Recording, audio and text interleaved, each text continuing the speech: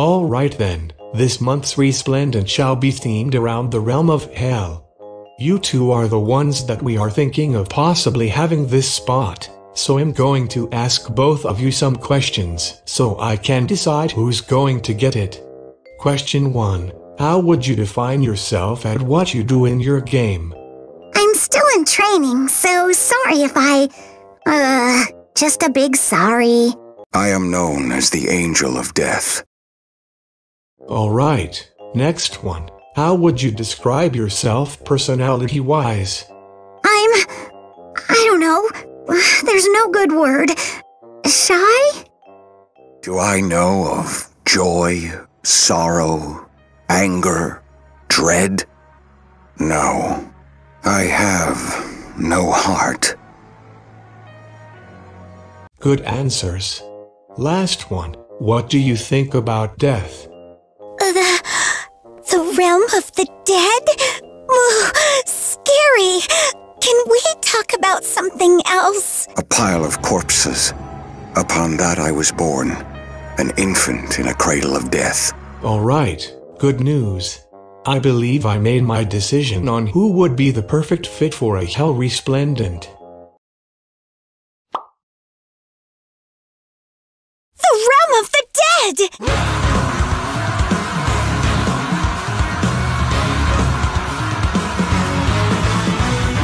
Greetings, warriors. My name's Pruitii, and welcome back to a Resplendent review. Hopefully, this time I'm not as late as, you know, Elise's, but.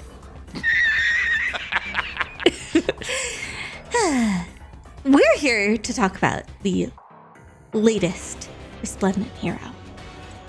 Are you excited? I have mixed feelings. Let's just go ahead and, you know, introduce them. What are those things that Nidavellir uses to fight? Actually, forget it. Just point me to their weak spot. It's Jaffar. like, okay, he's not bad, but he's not what I expected. I wasn't expecting him to be, you know, Nidavellir, but here we are. Um, I, let's just look at his outfit. First off, I will say, design wise, he is significantly better than other Nidavellir Resplendents. He seems to be catching on to the vibe a little bit more, say, compared to like Merric. oh, Merric. Um, he does fit the color scheme to a T. Like he has the black, he has the accents of white, he has the bronze metal, and the pop of color, which his color is purple. And I think it looks really, really good with him, with his bright hair popping out from, uh, you know, his little. I, I don't know exactly what word to call it, but it's like a hat, but not a hat. it's a headband. um, other things, though, he does have the bodysuit armor that is traditional of Nidavellir. Um, except, you know, he has an ab cut out because, you know, gotta show off them pecs somehow, I guess. um, he does also have a lot of motif of gears. I wish there was a little bit more, but I understand that you don't want to go kind of ham with that because it could look a little tacky if you do too much. But he has um, a gear on his belt and a gear on his um, his cape. I kind of wish like he had a gear on his head accessory, but like you know that's just being picky. Um, his silhouette. I don't think fits exactly, but to be fair, Nidavellir designs are not the best. It's hard to say which is worst, Embla or uh. I feel like just okay. Embla's the most inconsistent, and Nidavel- Nidavellir misses the mark the most. That's that's how I'm going to phrase it. yes. Um. So he does not have such a slender silhouette in terms of his hips, mainly. Um, if you took away the cape to just look at his outfit, his hips are too bul- bulged, and I understand that's because of his daggers that he's holding, but in comparison to other like the main Nidavellir characters, they have a lot more slender appearance. But I'm not gonna knock him too hard on that, even though if I'm going on a tangent here. Um, besides, let's just take the silhouette and put it put it on the side. Um, he does have cape. Awesome. Yay. Um, he does have gloves. Um, he does have fingerless gloves because you know it's Jaffar, why not? And metal braids on his clothing, so he has the metal braids on his uh, waist. Overall, if I'm looking at Nidavellir and saying, does he fit? Aesthetic wise, he, out of all of the Nidavellir resplendents, fits the most design wise, which is very nice. Very, very nice.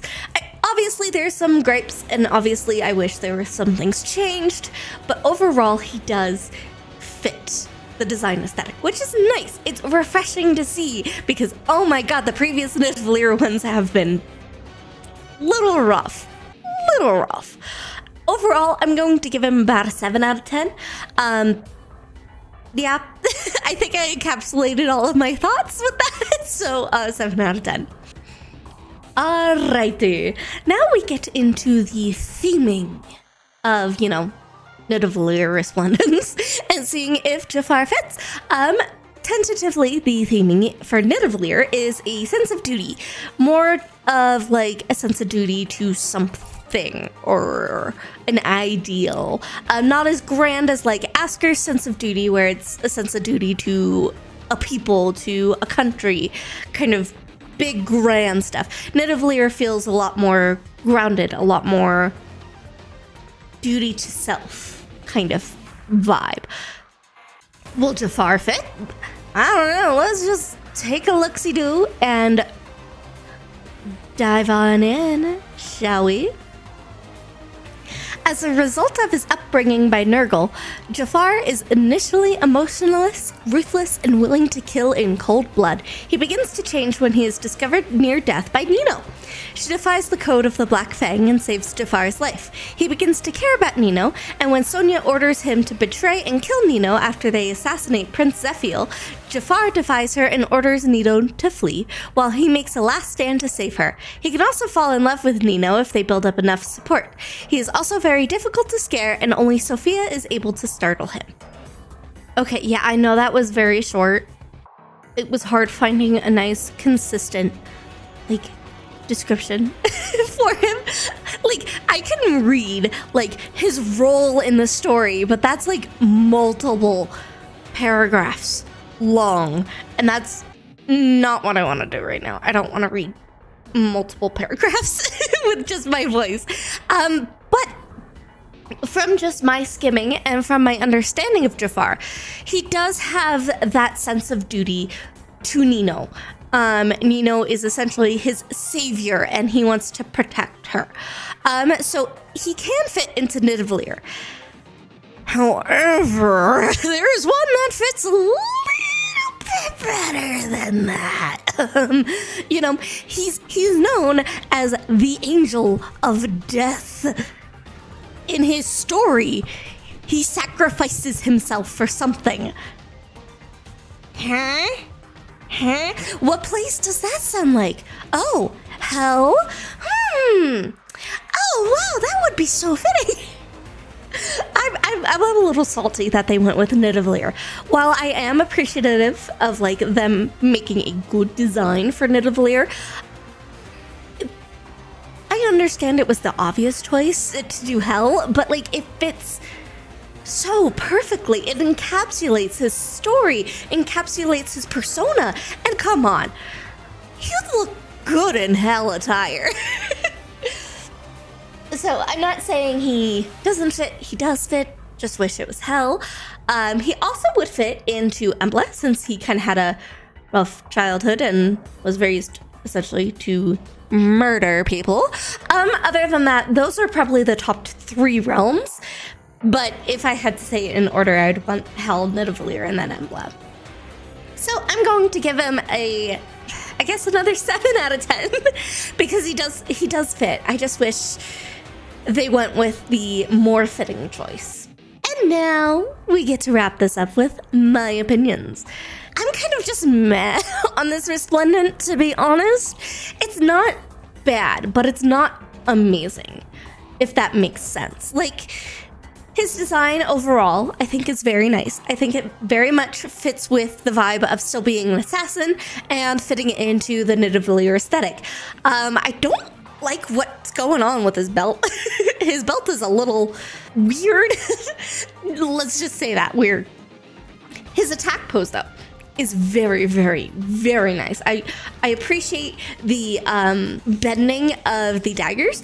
Obviously, like not every single dagger needs to be like completely straight like a knife, but like it just flows with the motion so well in his keep and just the posing. It just creates like this nice circle effect on him, and it's just really visually pleasing to look at. Now, his uh, special. they could have done so much more with his special, to be honest. I appreciate what they did with his face. His face looks fabulous. That intense death stare. However, let me hold on. I need to pull up uh, the specific resplendent art that I'm thinking about. I kind of wish they went more in the route of like Lon'qu special, where it's lots of red, lots of intense, sharp lines instead of the blue swirl with fire. Really, he really should have evoked the Angel of Death. That is his moniker. Like, I understand they want to keep the circular motion, but blue isn't very much a color of death. It's very much different meaning to it color wise. I, just wish a couple of things were changed on his special, especially why is there just random fire? why is there random fire? I don't understand. I mean, if you wanted to, if you wanted to, now hear me out, you could have done smoke. So a lot of the Nidavellir specials feature a lot of explosions and smoke because that's what they are. but with Jaffar, what you could have done is a trail of explosions that are instead of the blue lines and having the smoke kind of obscure your view of him so you see the angel of death popping out from explosions ready to murder you. That would have been so cool. but I'm biased. I'm biased. I'm biased. And you know, damage art is damage art. I, like his art. It's definitely an improvement from his uh, base art. He appreciated the stats for sure. But overall, I'm just very lukewarm on it. Yeah, it's nothing amazing and nothing like I want to kick it to the curb kind of thing. So I, I guess I, I don't know what to give him as a number rating since I'm writing him on a tier maker list. Maybe I should stop giving them numbers on my opinions because, you know, tier list. Speaking of that tier list, let's figure out where he goes, shall we? Um, it's for sure better than Mace. I, I really do appreciate what they did for him. But I don't think I can say that it's fully better than Mace. I feel like it's slightly better than Mace because of just his design is not my favorite, but that's because I'm biased towards Nidavellir designs. I've never really been a fan of them. so I think I'm going to put him right in between uh, Minerva and Sheeta because I feel like that's a really nice, comfortable spot for him. And, you know, he's good, but not like amazing. What are your thoughts on uh, Jaffar, our latest resplendent? You know, let me know. Let me know down below and uh, yeah. I I'm trying to come up with a clever thing to say here, but I I just can't. but um that should be it for this resplendent review and I will see you guys next time. Thank you guys so much for watching and subscribing. Keep fighting your battles and I will see you next time. Toodaloo!